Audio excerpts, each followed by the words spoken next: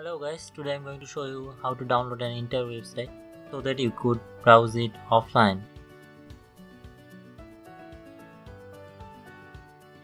First you need to go to Chrome, then you need to download the HTTrack. It is the website address and from here you need to go to download.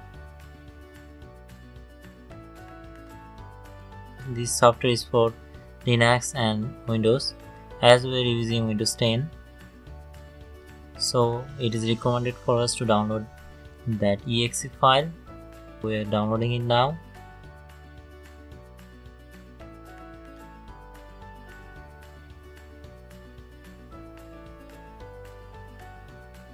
Now the download is finished so we need to go to that folder. Double click on our installation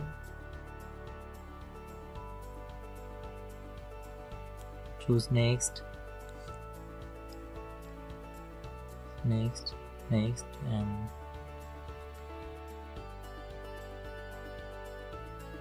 next then install. Our installation is now complete. Launch our software.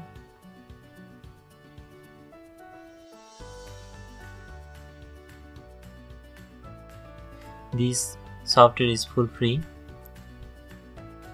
and it's also open source. Now we need to go to the website that we like to download and so that we could browse it offline. And I'm just going to tutorials point. It is a good website for tutorial things. I'm going to show you that how to download Python tutorials from this website. We just like to make an offline copy of this website so that we could browse it offline. And you can see that it's really good amazing website.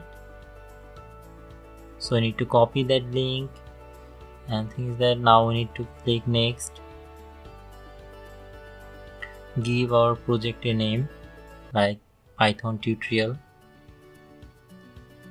And you can choose our path where we, where we like to save that so I'm just creating a folder on my C drive named website offline.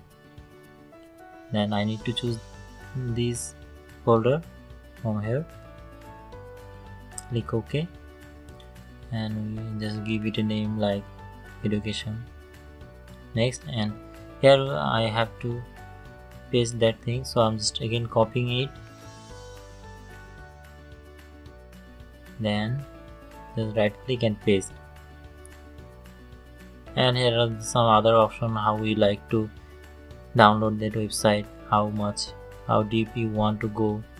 So uh, by default you don't need to do anything. I think there are other options like proxy links and, there are many options but i don't think that we need to mess these things because if you just go next it would it would do our work. So just click next and here you can see that here is option disconnect when finished and shut down when finished so you could choose anything you like. Okay you can see that the download has been started and it might take some time.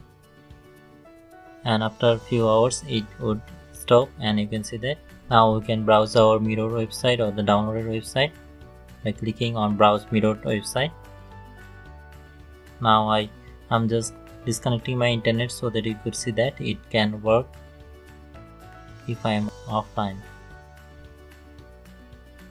I'm just clicking on the links and it's showing all the things that it seems it seems like that I'm online but I'm now in offline so it works and if you like to uh, browse it later just close everything and first then we need to go to the our go to our folder where we have saved saved it. So it is on the C website offline. Then you need to go to that python tutorial test because it we can give it a name like this. Then click index. And it is the website. And you can browse it from here also.